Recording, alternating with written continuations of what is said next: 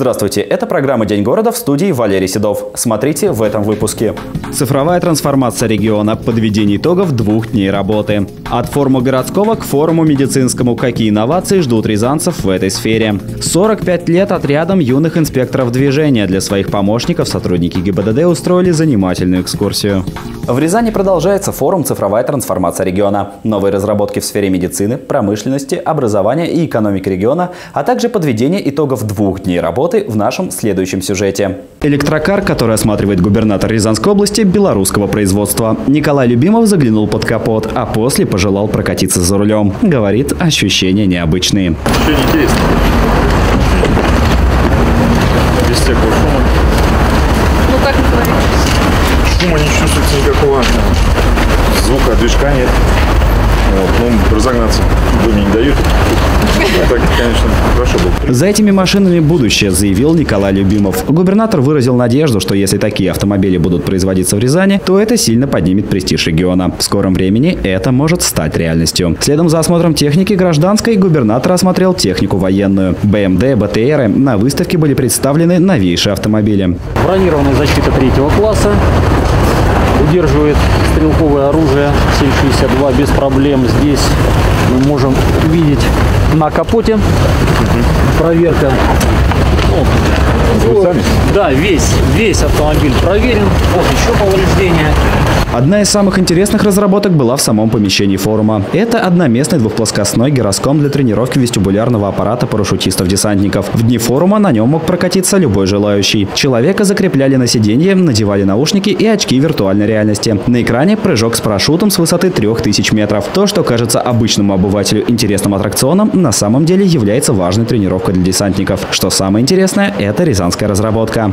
Разработка наша, э, рязанская, э, совместно с предприятием нашей промышленности. То есть как бы э, кластерная система обустройства области и условия, которые сейчас созданы, позволяет нам творить небольшие, но чудеса.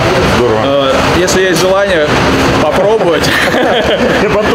Цифровое будущее Рязанской области обсудили на пленарном заседании. В форуме приняли участие председатель Комитета по бюджету и налогам Государственной Думы Андрей Макаров, представители Министерства экономического развития России, известных IT-компаний и крупных корпораций. Сам форум, по словам участников, удался. Правда, как отметил губернатор, хотелось бы увидеть все проекты, запущенные в работу. Телемедицина, электрокары в Рязани, дистанционное обучение – все это может стать реальностью в ближайшее будущее. Со стороны правительства Рязанской области соглашение подписывает губернатор Рязанской области Николай Викторович Любимов.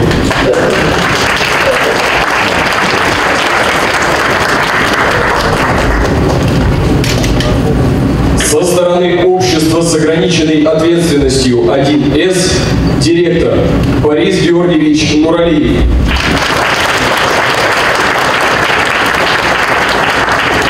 Соглашением предусматривается сотрудничество в области информационных технологий с целью повышения системы государственного управления. В рамках форума всего было подписано четыре соглашения. С «Газпромбанком» для реализации инвестиционных проектов в рамках государственно-частного партнерства, с белорусско-британским предприятием «Юнисон» для реализации инвестиционного проекта по производству и сборке электромобилей и компонентов и компанией ООО «Синдекс» для сотрудничества по вопросам развития цифровой экономики. Итоги форума подвел Николай Любимов. По словам губернатора, мероприятие прошло успешно. Итогом хотелось бы видеть, во-первых, реализованные нами и нашими партнерами, и нами совместно проекты, и, конечно, новые идеи, которые воплотятся потом в стартапах и, соответственно, будут запущены в серию, что называется.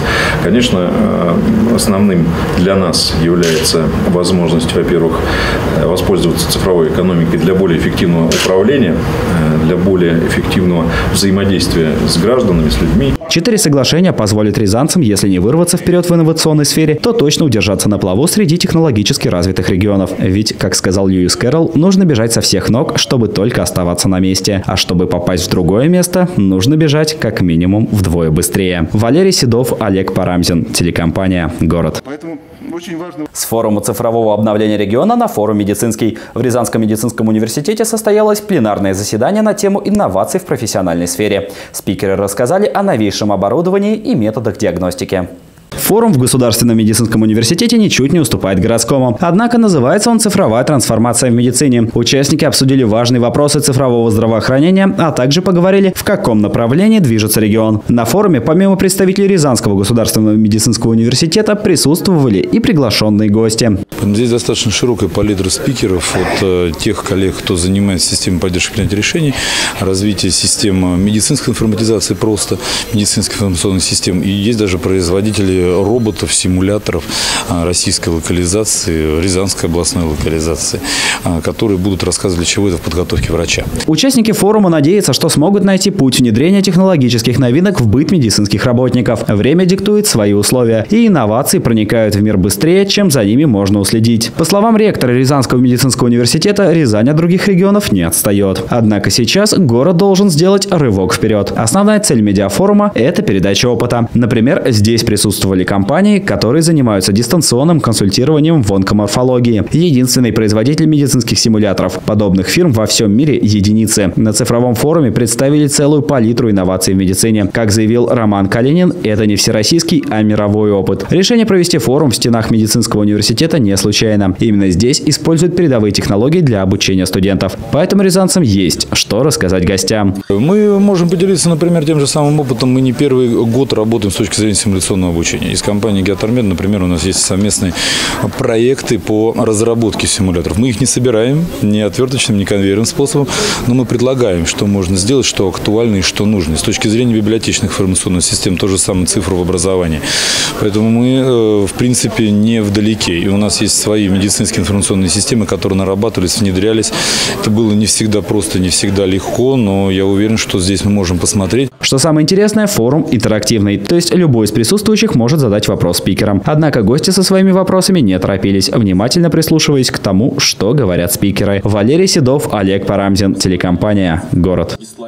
С 28 февраля по 2 марта в Калининграде прошел медиафорум независимых региональных и местных СМИ «Правда и справедливость», который ежегодно, вот уже на протяжении пяти лет, проводит Общероссийский народный фронт. Участие в нем смогли принять лауреат одноименного конкурса журналистских работ. Среди них оказались и журналисты рязанских изданий.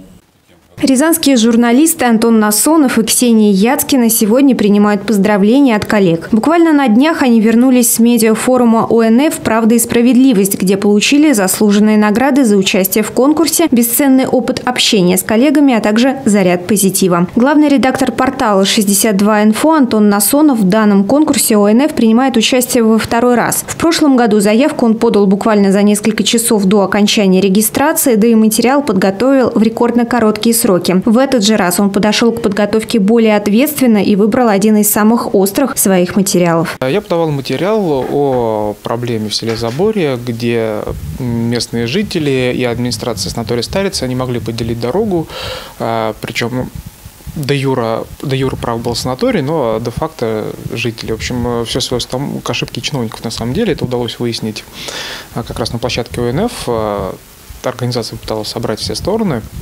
И э, на этой встрече были намечены какие-то пути решения проблемы. Вот э, сейчас я отслеживаю, пока потихоньку, но кажется, ситуация движется к правильному финалу. Ксения Яцкина, журналист издания «Про город», принимала участие в конкурсе впервые. И сразу победа. Впечатления после форума массы и, конечно же, все положительные. Ведь в ходе форума им удалось пообщаться с экспертами, обсудить с коллегами различные проблемы, а также принять участие в работе профильных секций, на которых они смогли получить действительно ценные профессиональные знания. Ну а больше всего их впечатлило пленарное заседание с участием Владимира Путина. Участие в форуме такого уровня как бы, не знаю, вдохновляет, как минимум. А, очень понравилась организация. Все было продумано до мелочей. В этом году на конкурс «Правда и справедливость» было отправлено порядка пяти с половиной тысяч заявок со всей страны. Из Рязани же их было всего 15. Победившие в этом году журналисты призывают своих коллег быть активнее, ведь участие в конкурсе – это не только прекрасная возможность получить довольно ощутимое денежное вознаграждение, но и, что гораздо важнее, бесценный опыт. Я когда услышала про этот конкурс, э, все-таки федеральное такое событие, и верилась с трудом, что я смогу победить. Но я решилась, э, потратила ну, буквально 10 минут на это, и в итоге приобрела очень ценный опыт, э, который, ну, не знаю, наверное, нигде я бы не смогла получить у нас здесь, в Рязани. Поэтому дерзайте, ничего не бойтесь, все получится. В следующем году составите мне конкуренцию, я по-любому буду участвовать. Информация о следующем конкурсе появится только осенью, но уже сейчас можно начинать подготовку, продумывать темы, готовить материалы. Но самое главное – стремиться в своей работе помогать людям. Тогда никакая специальная подготовка не понадобится. И любой материал сможет принять участие в конкурсе «Правда и справедливость». Ирина Ковалева, Станислав Кудряшов, телекомпания «Город». В рамках Всероссийской акции МВД России «8 марта в каждый дом» сотрудники Управления по вопросам миграции МВД России по Рязанской области поздравили посетительниц отделения по организации оформления заграничных паспортов с наступающим праздником – Международным женским днем. Каждый, пришедший получать главный документ путешественника, в этот день сотрудники полиции дарили цветы и желали огромного счастья, крепкого здоровья и неувидающей красоты. Представительницы прекрасного пола, посетившие отделение по организации оформления заграничных паспортов, были удивлены таким приятным подарком, отметив, что цветы, подаренные неожиданно, лучший подарок для женщины. Кроме того, посетительницы оценили качество обслуживания населения, добросовестное отношение к людям и выполняемой работе сотрудников. В акции 8 марта в каждый дом принимают участие все подразделения Рязанской полиции. Стражи правопорядка продолжают поздравлять прекрасных жительниц города и области с Международным женским днем. За прошедшие сутки на дорогах Рязанской области зарегистрировано 4 дорожно-транспортных происшествия, в результате которых 5 человек получили травмы.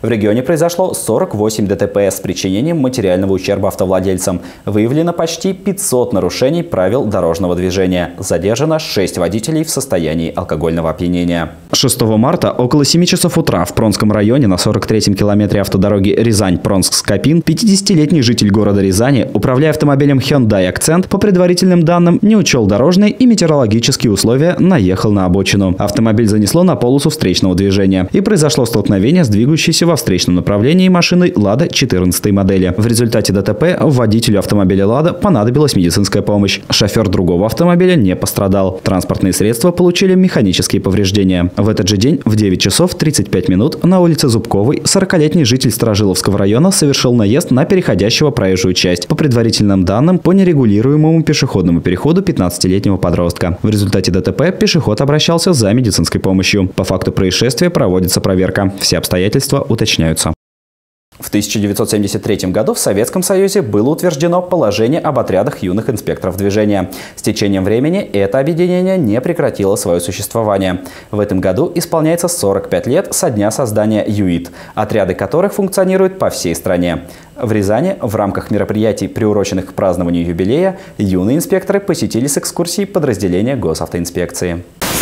45 уж пролетело, как юидовцы взялись за дело. Со службы ГИБДД все в ногу идем, и профилактику ДТП мы ведем. Это ученики рязанских школ, которые являются участниками отрядов юных инспекторов движения. Именно для них, активных помощников сотрудников госавтоинспекции, в связи с 45-летием объединения была организована занимательная экскурсия. Основная помощь, которую оказывают ребята сотрудникам ГАИ, заключается в том, что, во-первых, они сами всегда соблюдают правила дорожного движения, а во-вторых, рассказывают о необходимости их соблюдения своим сверстникам. Кроме каких-либо регулярных мероприятий сотрудники госавтоинспекции э, привлекают таким образом учащихся э, к соблюдению правил дорожного движения, чтобы они пропагандировали своим сверстникам э, требования правил дорожного движения, которые необходимо знать и соблюдать в условиях современного активного транспортного мира. Во время экскурсии мальчишки и девчонки узнали об истории создания ГАИ ГИБДД, а также особенностях работы подразделения, сотрудники которого несут службу в круглосуточном режиме. Они посетили лекционные, актовые и спортивные залы подразделения, познакомились с медалями и наградами, которые регулярно получают сотрудники госавтоинспекции. Также специально для юидовцев была организована выставка имеющегося на вооружении у ГИБДД оружия, которое применяется сотрудниками сотрудниками в повседневной работе. Ребята смогли не только рассмотреть все представленные элементы, но и подержать их в руках. Пожалуй, именно эта часть экскурсии запомнилась юным инспекторам больше всего. В оружейной комнате, как нам рассказали, выдают оружие. Это очень интересно.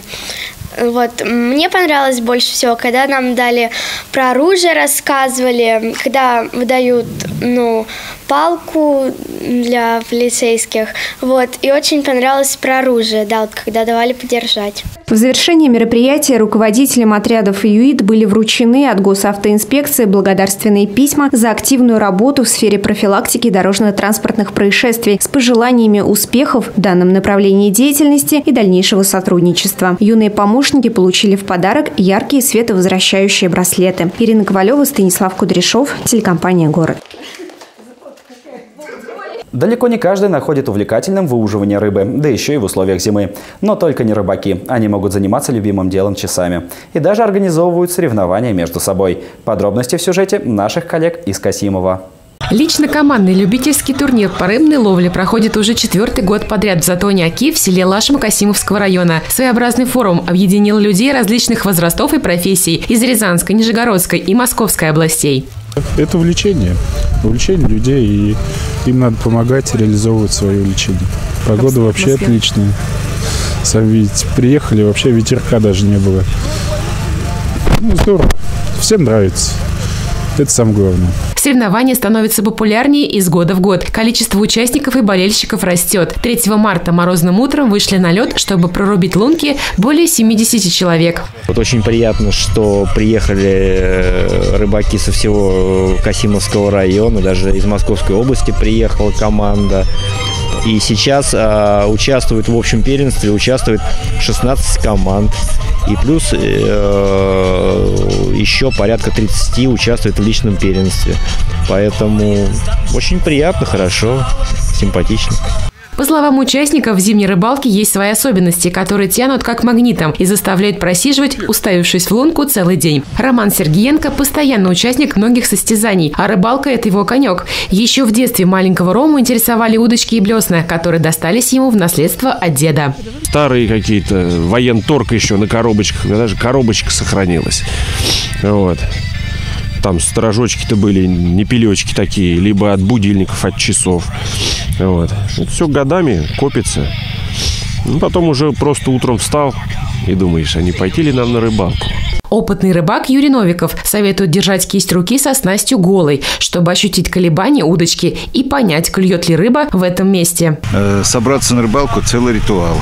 Вечером до часу сидишь, что-то перебираешь одну и ту же леску, мормышки перевязываешь, хотя знаешь, что, ну, для чего. На следующий раз на рыбалку опять вновь перевязываешь. Ну, такое, ну, кажется, что всегда, если что-то другую снасть, обязательно не клюнет. Зимняя рыбалка приносит удовольствие не только взрослым, но и детям. Девятилетний Демьян Лунин впервые участвовал в подобных соревнованиях, и морозец его не испугал.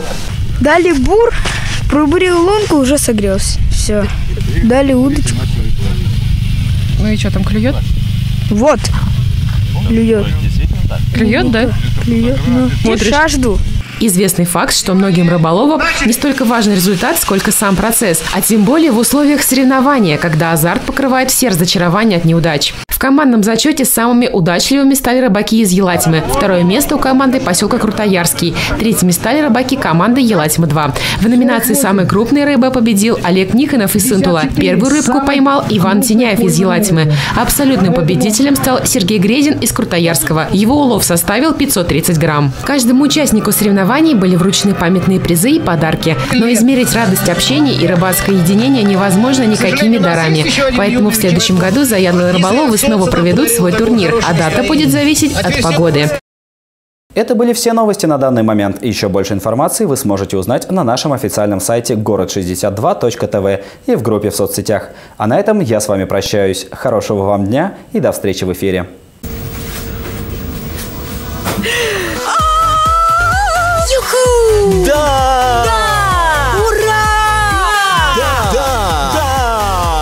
Это случилось! Обвал ипотечных ставок. Квартиры за 4,7% годовых.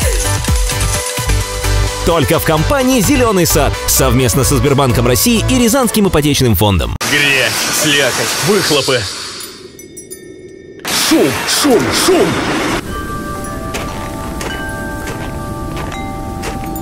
Плотный трафик, строительная техника, высоковольтные линии. Жить в городе? Зачем? Зачем жить в муравейнике, если в 10 минутах от города расположился жилой комплекс «Полянка»? Жилой комплекс «Полянка». Ближе к природе, вдали от суеты.